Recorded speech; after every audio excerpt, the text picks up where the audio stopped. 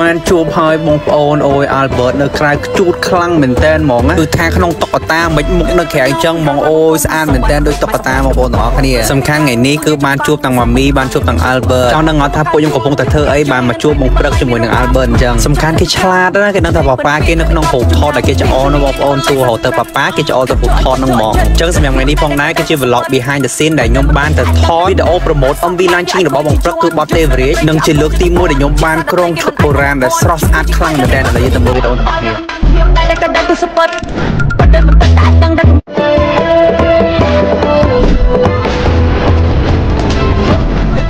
ជំរាបសួរពុកម៉ែបងប្អូនទាំងអស់គ្នាមុននេះបានឃើញឈុតខ្ញុំតិចតិចទេត្រូវឯគឺជាឈុតដែលខ្ញុំនឹងពាក់ចូលរួមក្នុងកម្មវិធីដ៏អស្ចារ្យដែលគឺជាកម្មវិធីសម្ពោធបទទេវរីរបស់អ្នកនាងទេពបុព្រឹកនិយាយទៅគឺកម្មវិធីនេះអស្ចារ្យខ្លាំងមែនទែនជួបគ្នាទាំងអស់គ្នានៅថ្ងៃទី26ខែឧសភានៅសាមហោស្រុកកោះពេជ្រហើយនេះគឺជាឈុតដែលខ្ញុំនឹងពាក់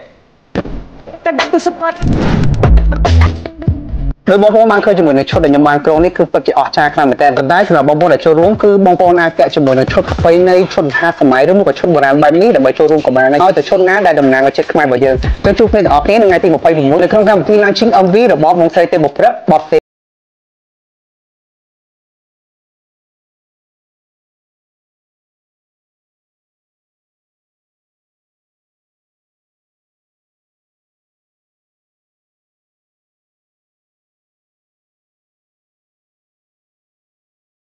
អរគ្នាមុននេះគឺបានឃើញជាមួយនឹងវីដេអូរបស់ខ្ញុំហីអញ្ចឹងឥឡូវខ្ញុំបង្ហាញបងប្អូនទាំងអស់គ្នាពីសកម្មភាពខ្លះខ្លះដែលខ្ញុំធ្វើការរៀបចំខ្លួនដើម្បីថតវីដេអូអូយបងប្អូននៅជាលើកទី1របស់ខ្ញុំឲ្យញើមភ័យខ្លាំងមែនទែនក្នុងការពាក់ឈុតខ្មែរដោយសារឈុតនេះមិនមែនឈុតប្រពៃណីធម្មតាបងប្អូនប៉ុន្តែគឺជាឈុតបុរាណហ្មងនិយាយទៅគ្រឿងដែលក្រងគឺធ្ងន់ធ្ងន់ខ្លាំងមែនទែនហើយសំខាន់បំផុតគឺចំណាយពេលយូរខ្លាំងមែនទែនដើម្បីក្រងមួយឈុតមួយឈុតបងប្អូនគឺថាយើងត្រូវពាក់ម្ដងមួយម្ដងមួយម្ដងមួយហ្មងហើយគឺថាឈុតបុរាណខ្មែររបស់យើងគឺមានគ្រឿងច្រើនខ្លាំងមែនទែនបបោកសរុបគ្រឿងទាំងអស់ដែលខ្ញុំពាក់នៅលើខ្លួននេះបងប្អូនខ្ញុំហ៊ាននិយាយថាអត់ក្រោម30គីឡូគ្រឿងដែលបំពាក់លើខ្លួនមួយមួយគឺថាប្រណិតនិងមានក្បាច់ក្បូររចនាស្អាតខ្លាំងមែនទែនហើយបើសម្រាប់មកកត់ខ្ញុំនេះវិញណាអូខ្ញុំស្រឡាញ់ខ្លាំងមែនទែនបងប្អូនហើយដឹងមានទម្ងន់ម៉ានមានទម្ងន់រហូតដល់ទៅ7គីឡូសម្រាប់មកកត់ដែលខ្ញុំពាក់នេះនៅពេលដែលបានក្រងឈុតនៅលើខ្លួនរួចរាល់គឺមានអារម្មណ៍ថារំភើបមានអារម្មណ៍ថាមានអំណាចនិយាយទៅគឺមានអារម្មណ៍មួយថាអស្ចារ្យពិសេសខ្លាំងមែនទែនហ្មងហើយកាន់តែមានមោទនភាពដែលដូនតាខ្មែររបស់យើងគាត់បានរៀបចំរចនាសម្លៀកបំពាក់ក៏ដូចជាអរិយធម៌យ៉ាងសម្បូរបែបនិងអស្ចារ្យខ្លាំងមែនទែននិយាយតាមត្រង់នៅពេលដែលខ្ញុំកាត់វីដេអូនេះបានឃើញ footage ខ្លួនឯងគឺមានអារម្មណ៍ថាដូចជាមេតបនៅក្នុងសម័យបុរាណមួយចឹងនិយាយទៅគឺអូយលយពិសេសខ្លាំងមែនទែនឥឡូវខ្ញុំសួរបងប្អូនវិញថាពេលដែលបានឃើញខ្ញុំពាក់ឈុតបែបនេះហើយមានអារម្មណ៍មិនដែរគិតថាខ្ញុំពាក់សមដូចខ្ញុំនិយាយអត់ប៉ុន្តែចង់ប្រាប់ថាតួមនុស្សអត់ស្អាតក៏ឈុតស្អាតដែរបងប្អូនចឹងអាចទៅសារឈុតបានចឹងក៏ភ្លេច comment ហូបបេះដូងម្នាក់មួយផងបងប្អូនប៉ុន្តែខ្ញុំប្រាប់បងប្អូនទាំងអស់គ្នាថាអ្វីដែលកាន់តែពិសេសនឹងឈានម្ដងក្នុងយប់នេះនិយាយទៅគឺនឹងមានឈុតពិសេសពិសេសអស្ចារ្យច្រើនខ្លាំងមែនទែនដែលអ្នកចូលរួមក្នុងកម្មវិធីបងព្រឹកគឺគាត់នឹងក្រុងយកមកបង្ហាញបងប្អូនខ្មែររបស់យើងចឹងកុំភ្លេចតាមដានទាំងអស់គ្នានៅក្នុងល្ងាចនេះនៅក្នុងកម្មវិធី Launching MV ទេវរាជទៅប៉ាប៉ាទៅប៉ាប៉ាមកតោះទៅប៉ាមកប៉ាចូលមកប៉ានេះប៉ានេះប៉ានេះថ្ងៃនេះខ្ញុំក៏សូមចូលរួមត្រេកអរជាមួយនឹងការសម្ពោធបទចម្រៀងថ្មី Mami របស់ Albert ដែលជាបទទេវរាជរបស់អ្នកនាងទេពបុព្រឹក ក៏ប៉ុន្តែវីដេអូនេះគឺខ្ញុំថតតាំងពីថ្ងៃដែលខ្ញុំទៅថតវីដេអូនេះអ្នកទាំងគ្នាគឺជា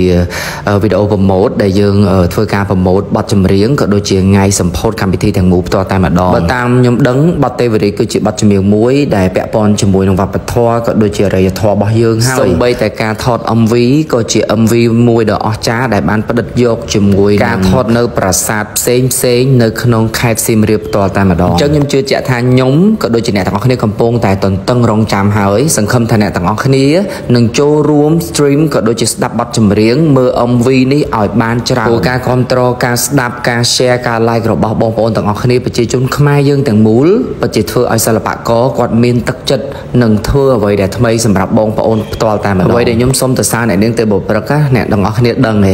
ថាមកុដដែលគាត់ពាក់ថតបទចម្រៀង MV នៅប្រាសាទហ្នឹងណាបើតាមខ្ញុំឮដូចជា30គីឡូហើយខ្ញុំសួរអ្នកដែលគាត់ពាក់មកុដនេះឲ្យខ្ញុំណាមកុដនេះគឺត្រឹមតែដូចជា4ទៅ6គីឡូតែប៉ុណ្ណោះប៉ុន្តែខ្ញុំមានអារម្មណ៍ថាធ្ងន់មែនទែនអ្នកទាំងអស់គ្នាជាពិសេសខ្ញុំក៏សូមជូនពរឲ្យបុព្រឹកកាន់តែរីកចម្រើនក៏ដូចជាជោគជ័យកាន់តែខ្លាំងចាប់ពីយប់នេះទៅអញ្ចឹងថ្ងៃនេះក៏បានមកថតមួយសត្រាងដូចគ្នាឥឡូវក៏បានខាត់ពេលយូរមកមើលជាមួយនឹង Albert ទាំងអស់គ្នាតោះគេមើលគេមិនតាមបាយស្រោតខោទៅមានគេយ៉ាងណាចូលទៅទៅមក ទៅប៉ាប៉ាទៅប៉ាប៉ាមក តោះទៅប៉ាអត់ដែរនេះប៉ា ប៉ាគេអូខេខ្ញុំ ពូនពីកាពូនទៅប៉ា ជី ប៉ា ឡានអត់តោះជីឡានទេ អឺអត់ឈីណាណាឈីណាមកពូអត់ អត់ដែរ ពងឬស្គាល់អត់ស្គាល់មុខទាំងអស់ ណាមមមអាល់បឺតមមមណាណាមមមចាណាមមមិនចូលដាក់វាតែបខំស៊ីអត់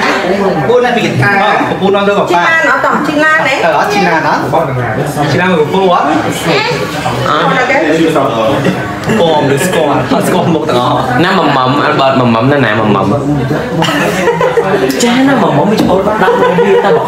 ក់ខំវាចូលមកណាលេខលេខអសរអេមើលហើយអត់ទេមើលហើយណាគាត់ខំលតាមស្រឡាញ់ញ៉ាំតែឃើញអីអញ្ចឹងស្រឡាញ់បែបមកតាមការជុំពងឆ្ង mười hai á. nó đây hai nãy con hòm là tám á. Thật lá nha đặc khơi chứ ấy chứ thật lá gì bé quá làm cà chua cùng chờ lên nó mốc lấy mốc chờ mấy mốc đây. sai nó ông sai lử lư mà sai cho mấy. Mua cho nó chú bé mình vì. đi đi đi ta chút nữa nữa cái kia mà tôi không ai mà ông tôi không thời mấy ngày này nó bọc cô bé ăn còn bé. Ăn cái cái tiktok á cái chó បានជួបហើយបងប្អូនអូយ Albert នៅក្រៅខ្ជូតខ្លាំងមែនតែនហ្មងគឺថាក្នុងតុក្កតាមិនមុខនៅក្រៅអញ្ចឹងហ្មងអូយស្អាតមែនតែនដូចតុក្កតាបងប្អូនទាំងអស់គ្នាសំខាន់ថ្ងៃនេះគឺបានជួបទាំងម៉ាមីបានជួបទាំង Albert ចង់ដឹងអត់ថាពួកខ្ញុំកំពុងតែធ្វើអីបានមកជួបបងព្រឹកជាមួយនឹង Albert អញ្ចឹងសំខាន់គេឆ្លាតណាស់គេដឹងថាប៉ាប៉ាគេនៅក្នុងរូបថតដែលគេច្អល់នៅបងប្អូនសួរហៅទៅប៉ាប៉ាគេច្អល់ទៅរូបថតហ្នឹងហ្មងអញ្ចឹងសម្រាប់ថ្ងៃនេះផងដែរគឺជា vlog behind the scene ដែលខ្ញុំបានទៅថតវីដេអូ promote MV launching របស់បងព្រឹកគឺបទ Leverage និងជាលើកទី1ដែលខ្ញុំបានក្រុងឈុតបុរាណដែលស្រស់ស្អាតខ្លាំងមែនទែនឥឡូវយើងទៅមើលវីដេអូទាំងអស់គ្នាតែក៏ដឹងទៅសពតប៉ុន្តែមិនតែដឹងដែរ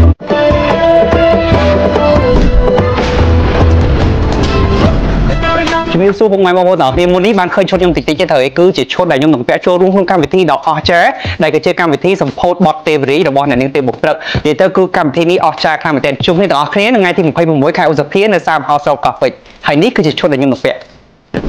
តែដឹងទៅសពត ដោយបងប្អូនបានឃើញជាមួយនឹងឈុតដែលខ្ញុំបានក្រុងនេះគឺពិតជាអស្ចារ្យខ្លាំងមែនទែនប៉ុន្តែសម្រាប់បងប្អូនដែលចូលរួមគឺបងប្អូនអាចពាក់ជាមួយនឹងឈុតប្រពៃណីឈុតហាសម័យឬមកក៏ឈុតបុរាណបែបនេះដើម្បីចូលរួមក៏បានដែរឲ្យតែឈុតណាដែលតំណាងឲ្យចិត្តខ្មែររបស់យើងទៅជួបគ្នាទាំងអស់គ្នានៅថ្ងៃទី26នៅក្នុងកម្មវិធី launching MV របស់បងស្រីទេពបុព្រឹក